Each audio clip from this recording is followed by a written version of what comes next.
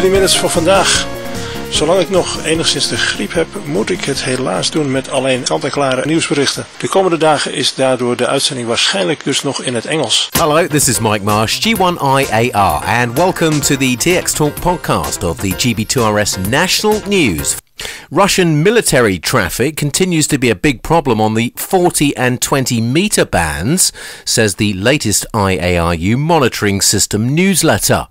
There have also been many other intrusions from various other nationalities, including over the horizon radar on 10 MHz, Spanish language fishery traffic on 1.810 MHz, and North Korean diplomatic transmissions on 20 meters from their Moscow embassy.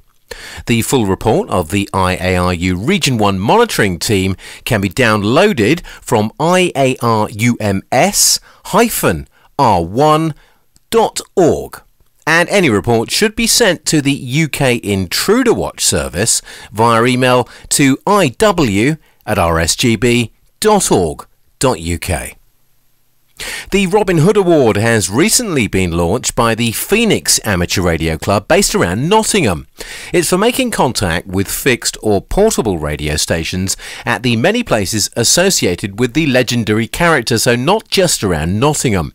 There are categories for both activators and chasers, and details of the self regulated free award can be found by following this link from m0phx.org uk. That's Mike Zero Papa Hotel X-ray.org.uk. This week has seen two developments in the amateur space communications.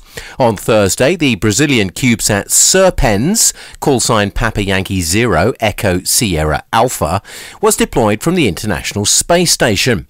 Details of the mission are all on view at tinyurl.com slash Papa Yankee Zero Echo Sierra Alpha. And reception reports are all welcome too. We also understand that a Chinese Long March 6 will be launching four CubeSats with amateur radio payloads around 2300 hours on Friday, the 18th of September. The latest on these and other satellites can be found up at the AMSAT UK website. Go to amsat-uk.org. From Australia, this is VK1WIA. Hello, I'm Jeff Emery, VK4ZPP, and I've been thinking. One of the features of amateur radio has been its ideal that all hams are equal. This has been a historical belief which found its form in the amateur's code. Over the past century, it has been common practice not to use forms of address that would identify the operator as being superior. Of course, this has been easy to do when contacts have been between strangers, and even better if they were DX. Princes and academics were addressed by the name they gave, and ranks and titles dispensed with amongst amateur operators. The sense of belonging to a giant worldwide club and a belief in equality was honoured in the practice. Then the reality is that people engrossed in the art of wireless came from different backgrounds, from most walks of life that you can think of. This meant that the school student had different funds to the professional person, and the investment in parts and equipment varied. This is a fact of life that still remains today. Where things get strange is that there seems to be a small core of amateurs who feel inadequate. These are the ones who seem to delight in picking on other operators to show how big their own egos are.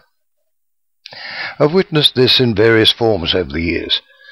Uh, the CW operators who diminish the voice ops, the open license holder who has to correct the limited, the novice, and now the foundation license holder. Just to be fair, this level of judgment is also aimed at the old-timers who like a rag chew that includes the updates on health and medicines. Much as it might be satisfying to stick the finger up at what we think is wrong with another amateur, remember that public misbehaviour reflects on the whole amateur community, and tact, courtesy, and privacy go a long way in maintaining the traditions of our hobby. I'm Jeff Emery, and that's what I think. How about you?